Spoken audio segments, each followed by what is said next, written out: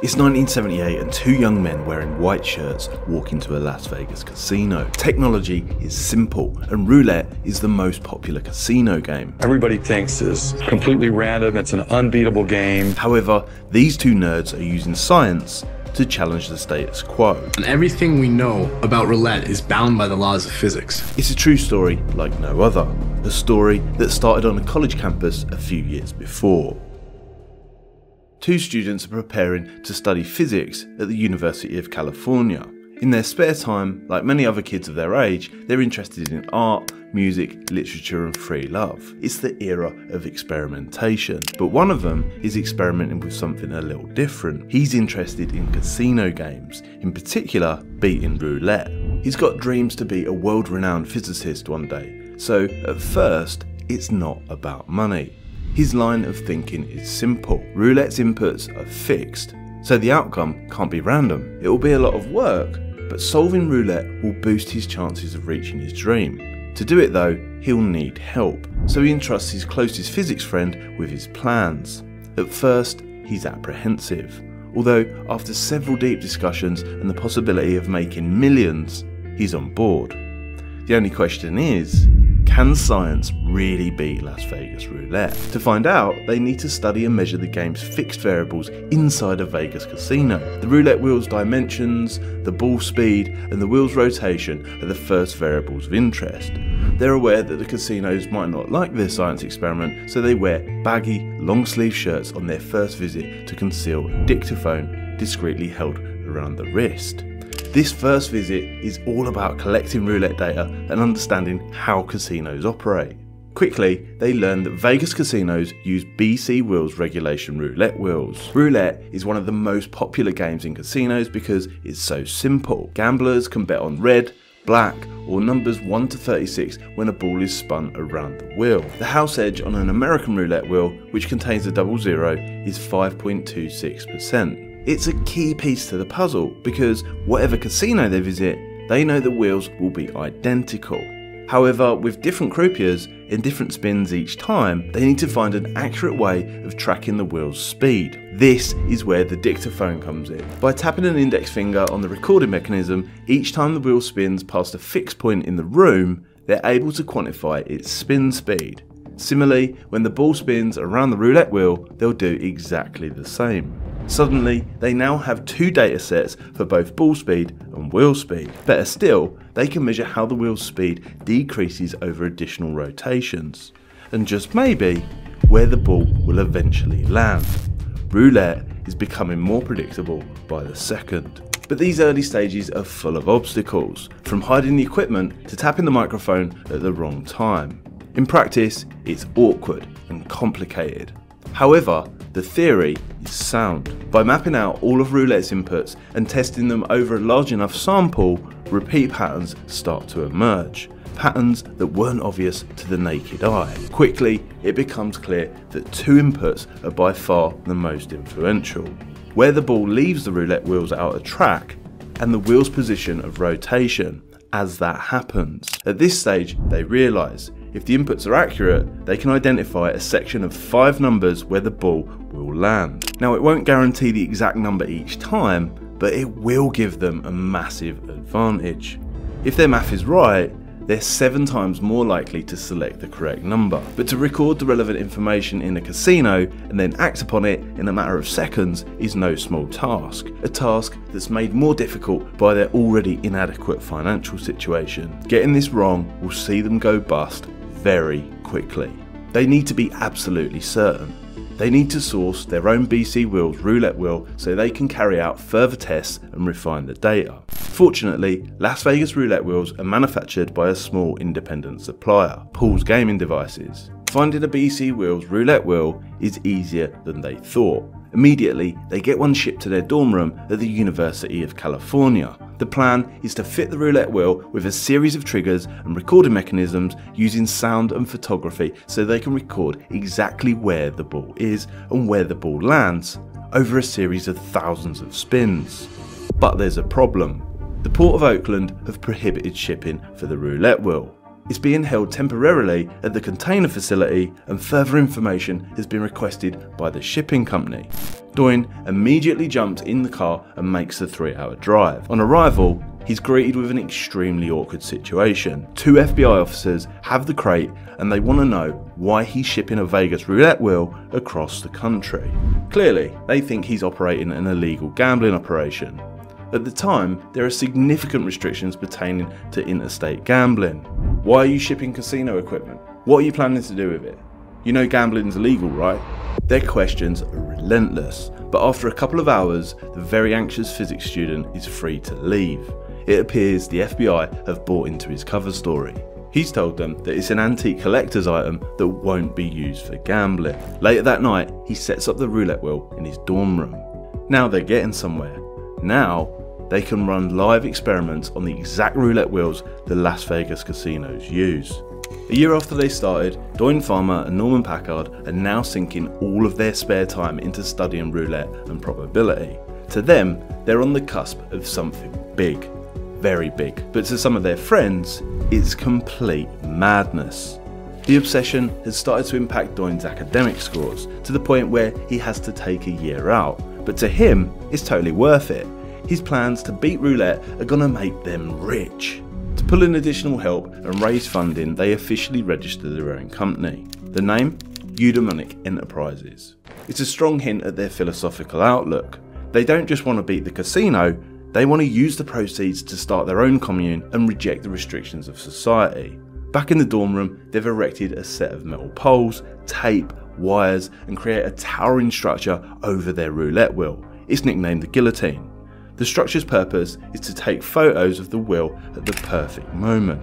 At a 90 degree angle over the centre of the wheel is a camera. Linked to the camera is an oscilloscope to keep track of motion. A microphone will trigger the camera's shutter at the precise moment the ball falls off the roulette wheels out of track.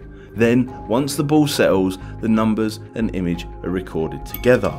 The guillotine allows them to accurately measure the numerical distribution of the wheel in line with where the ball had moved.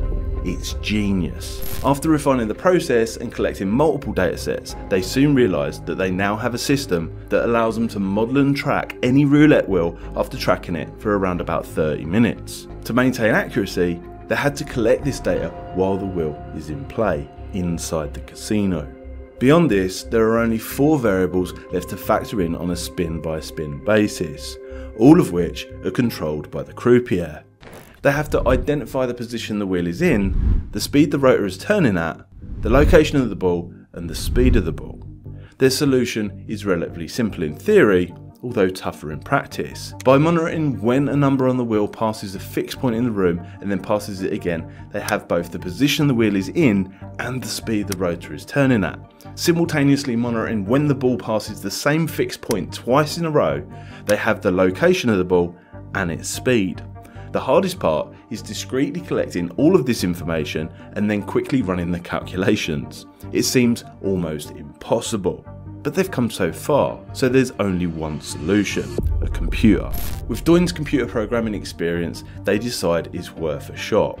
Writing the program isn't the hard part though. Hiding a small but reliable computer under their clothes is. As far as they're aware, nobody has managed this before. The consequences of being caught are potentially disastrous. In 1975, Las Vegas is run by the mob. The law is the least of their worries. After several trials and many failures, Norman has custom built the hardware. The computer's main circuit board will be strapped to the player's chest with thin wires running down the inside of the trouser leg, where a simple switch will be taped to the inside of their shoe. This is how they'll control the data entry. Following the data inputs that are made, their secret computer will run a formula involving trigonometric functions. After it's processed the calculations, it will then signal back where they should bet. But with a low budget, they're running on favours and donations from friends. The computer's outputs will be managed via a small electromagnetic device taped to the player's chest next to the computer's motherboard. It's not ideal, but they've sourced these pads from a psychology experiment on campus. The whole computer will be powered by batteries stashed on the player's side, under their armpit. At last, their dream is about to become a reality. They're ready for their first hit. They're ready to beat Vegas roulette with science. On a cold winter afternoon in 1977, a very nervous Doyne Farmer steps into a Las Vegas casino. Despite the cold weather, he's already broken a sweat. He picks a roulette table, sits down, and starts betting low stakes. It takes a while, but eventually he settles into a rhythm, gently tapping his secret input switch. Twice to track the wheel's rotation, and twice to track the ball's speed. On his chest, the computer immediately gets to work. It twinges back, sending mild shocks across his chest. The system is working. From start to finish, he has around 12 to 18 seconds to input the data, receive the signal, and place the bet. It's awkward, but the advantage is clear. They've given themselves a 20% advantage over the house. But he's nervous and sensible, so he keeps the stakes low. It isn't long before he finds himself chuckling. The chips are starting to build up. He's making money. But with money comes attention. He's noticed a man holding a radio in the background. He suspects it's a casino pit boss. It's an unexpected turn, although currently he has a bigger problem to worry about. Amongst the excitement of winning and the nerves of using a hidden computer, Doyne has worked up quite a sweat. The sweat is amplifying the shocks the computer makes on his body. He doesn't want to adjust the computer at the table, that would be obvious. So he makes a break for the restroom. The casino pit boss follows him in. It's his worst nightmare. What now? Is he about to get caught? Hidden in the toilet cubicle, he holds his breath and gently peels the computer's electromagnetic shock pad from his chest. He's sweating profusely, and now he's questioning if this was even a good idea. The crackle of the pit boss's radio breaks the silence. He's being called to an emergency elsewhere in the casino. Relief. With the computer's output hanging under his shirt, he makes a break for the casino's cashier, and then the exit. It's a close call, but he's got away with it. And now he knows their system works. He just needs to scale up the stakes and find a creative way to hit Vegas casinos hard. In order to make millions of dollars, Norman and Doyne know they must expand the team. Hitting the casinos in pairs is the idea. One player to collect roulette data and signal which numbers are hot, and another to place bets. For example, if the data taker bets on even, it means the wheel has been accurately profiled. They know casino staff pull consistent winners aside for questioning, so it'll take the heat away from the player wearing the computer under their shirt. Plus, it means the bettor doesn't have to concentrate too much. They can chat with the croupier and hold his attention. Within weeks, they've brought 20 other science students into the fold. They promise to evenly distribute profits amongst the group and fund a scientific community if it works. Given the era's social views, it's a savvy move. At this point, the company has spent its initial $10,000 investment on experiments and equipment to beat the casino. They don't have a huge bankroll to use, so the plan is to start small and gradually increase the stakes as the chips build up. But it leaves one question on everyone's mind. What if we get caught? Norman explains that it's extremely unlikely because the computer will only predict a 5 number section of the wheel to bet on.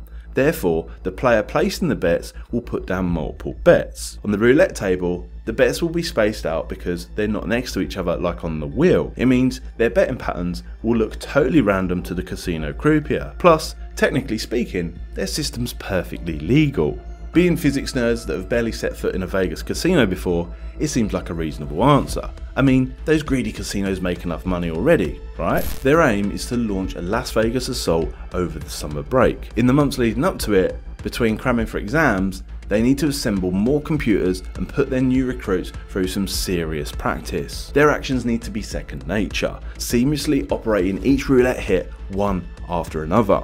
It's a challenging phase with new equipment problems and Norman thinks they're moving too fast. But Doyne won't have it. Their Las Vegas fantasy is no longer a dream.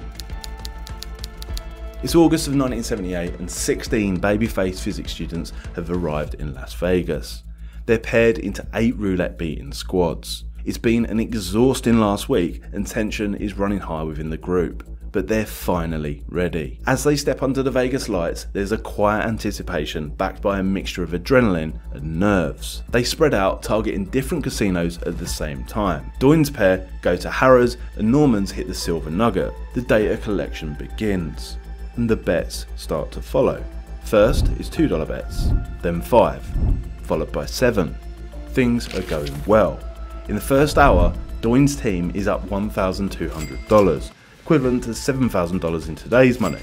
the seven other teams scattered around Vegas are attempting to do the same. The feeling is euphoric until casino security begin to loiter nearby. This beginner's luck from a couple of young hippies hasn't gone unnoticed. They stick out like a sore thumb amongst the casino's regular clientele. After an evening's play, the wider team regroup. Amongst the pairs, there are several concerns about angry looking casino staff. This is not the problem that they had envisioned. One of the other team's data takers has been sweating heavily, much like Doyne's first visit. The damage is worse though. She's lost several layers of skin from repeat electromagnetic shocks. A little blood stains her blouse. There's multiple complaints about the malfunction in equipment. In an era of primitive technology, it's problematic. With broken wires, electric shocks, and the threat of being dragged into a back room, tension amongst the group intensifies. Norman blames Doyne's persistent pressure to rush ahead, but Doyne can only think about staking bigger.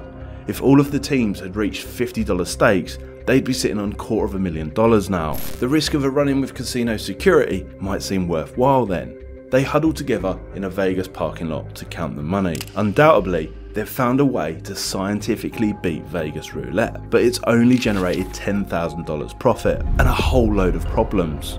They face a conundrum reinvest the lot, source more equipment, and go again, or call it quits, share out the profit, and remain friends long into the future. I'm glad to say, after much reflection, Professor Doyne Farmer, Norman Packard, and this band of misfits decide to take option 2. In 2012, Doyne broke his silence on exactly how it was done. He said, I kept it silent because I didn't want to communicate any information that might prevent anyone from taking the casino's money.